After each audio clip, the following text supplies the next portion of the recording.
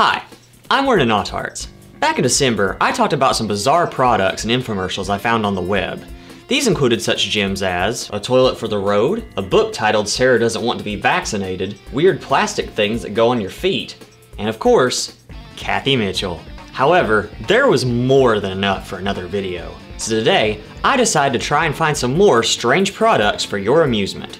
This is the Wacky World of Shopping, Volume 2. Starting back off at anti-vax books, we have No Vaccines for Me by Dunkel Burger and Yam Yamin? Well, the content of this book is standard, the cover alone is worth mentioning.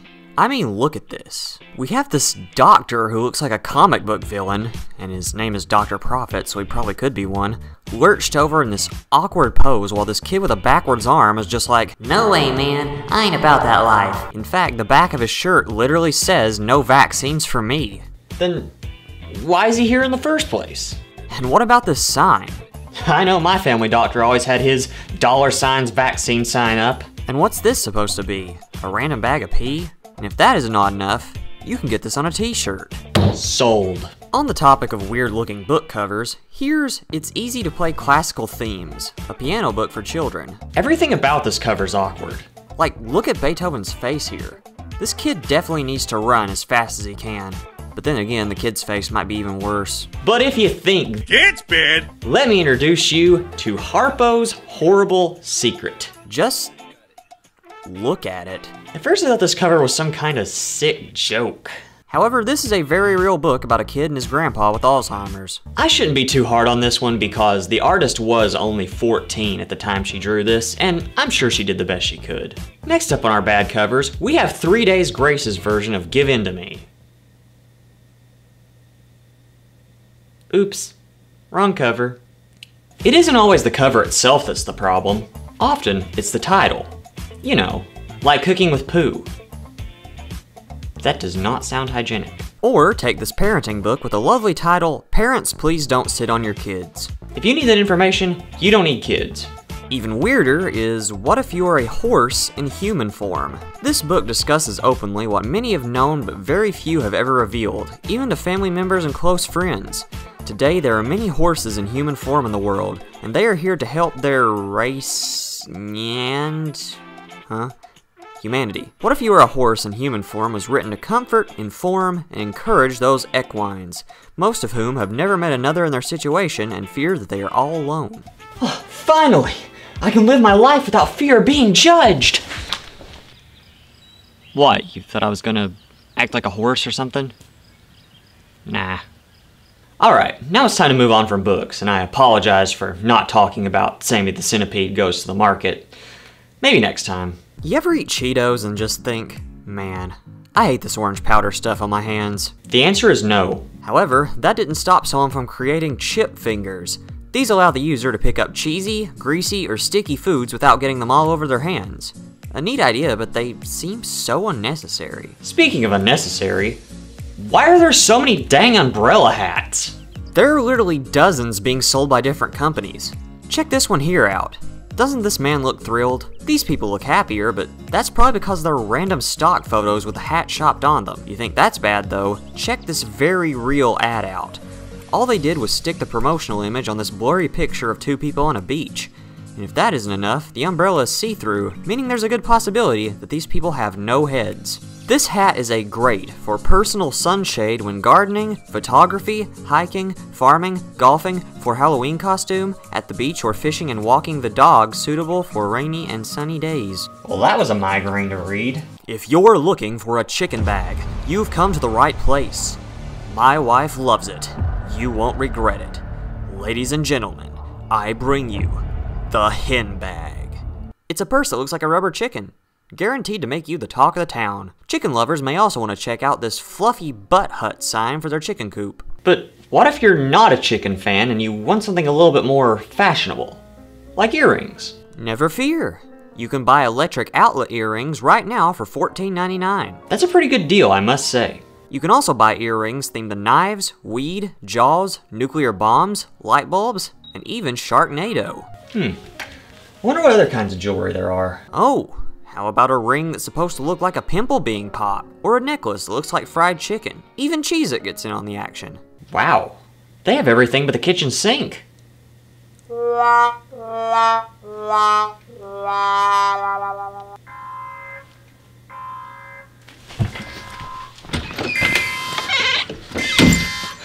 Could it be? It is! It's the infomercial signal! For our first commercial, we're gonna travel all the way back to the 1980s.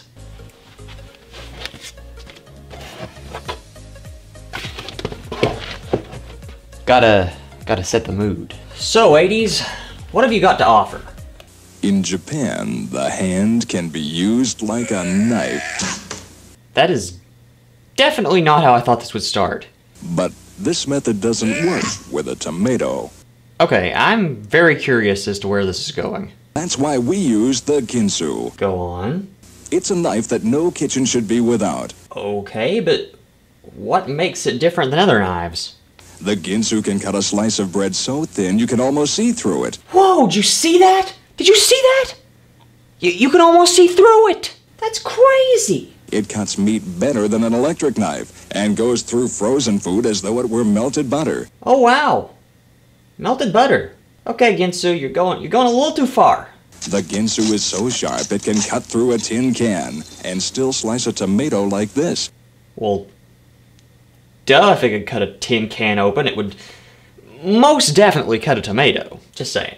It can chop wood and still remain razor sharp. What's more, it's a knife that will last forever. It, it can chop wood? I think this might be the most powerful kitchen knife in the world. How much would you pay for a knife like this? Before you answer, listen. It even comes with a matching fork to make carving a pleasure. Okay, no human should be allowed to wield that much power lest they go insane. Wait, there's much, much more. Much, much more? I, I don't know how much, much more I could take. We also want you to have this 6-in-1 kitchen tool. It peels and slivers carrots, peels potatoes, and slices paper-thin potato chips. This amazing little knife even grates carrots, grates cheese, and makes beautiful decorative vegetables. I'm scared. Well, we'll even give you this set of six precision steak knives. The handles even match the Ginsu. And to make the offer completely irresistible, you'll get this unique spiral slicer. You get the Ginsu knife, the matching carving fork, the versatile 6-in-1 kitchen tool, a set of six steak knives, and the spiral slicer. You have all this, you're gonna be unstoppable. Uh, I'm gonna hide now. You get them all, guaranteed in writing for 50 years. A guarantee in the form of writing? Wow, that almost makes me want it. Almost. What was that?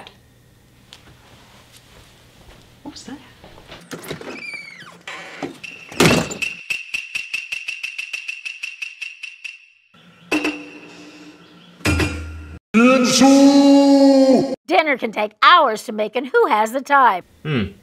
That familiar voice is absolutely right. It does take hours to make a good dinner. What should I do? Hi, Cathy Mitchell here with my new Dump Dinner Cookbook. Of course!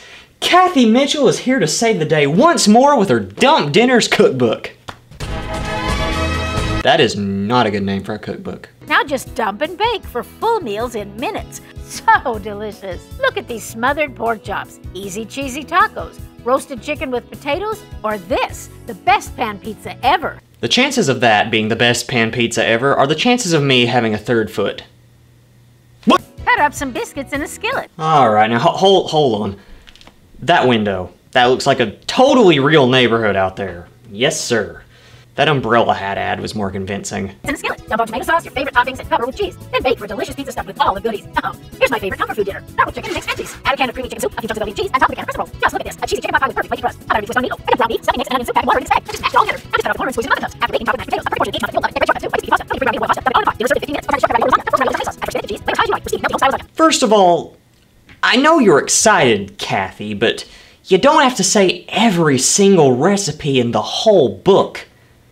And second, take a gander at this. After work, I never want to spend time making dinner. Now I just dump everything in and bake to make the ultimate chili mac and cheese. As a single mother of eight, I tend to ignore my children a lot.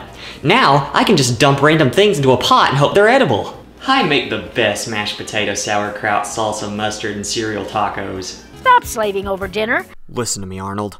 I am on the phone about your uncle's botched lobotomy. I'm trying to make cupcakes for him to enjoy, as is the only thing that will elicit any kind of response out of him. So kindly stop tugging at my arm and get your stupid A&F shirt out of here, or so help me, I will dump dinner you into the river. Make delicious meals in a flash with Dump Dinners, just $10. But wait, call now and you can get my best selling Dump Cake Cookbook. Just dump and bake for this scrumptious raisin Peach Dump Cake. Dump cakes. Somehow pouring flour on fruit made that.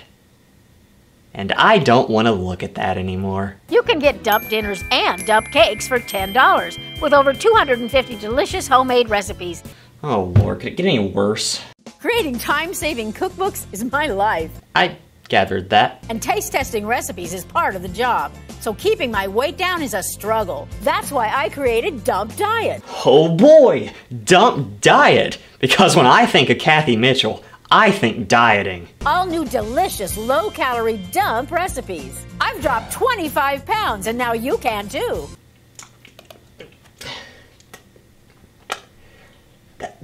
That's that that mm, that uh, that's that's just that's just great, Cathy. Fun fact, I actually gained 25 pounds between my first video and now. Can't can't you just tell? It's so easy. Just dump, bake, and lose weight. Dump, bake, lose weight. Who knew it was that simple?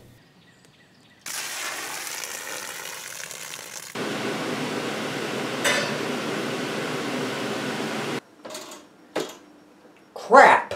Here's a light lasagna. You know, I just noticed that this is the exact same set, but the picture in the window is different.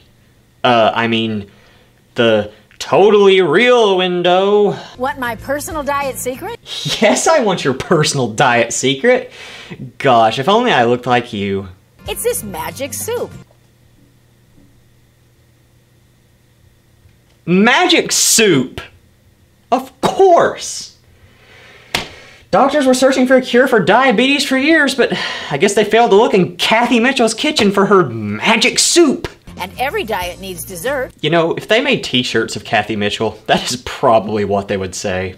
Try my chocolate raspberry trifle with angel food cake, chocolate pudding, fresh raspberries, and whipped topping. You could gain five pounds from looking at that thing, man. A sinful dessert, so dump, bake, and lose weight with my Dump Diet Cookbook Oh, next you're gonna tell me that isn't Cathy on the cover. for just $10.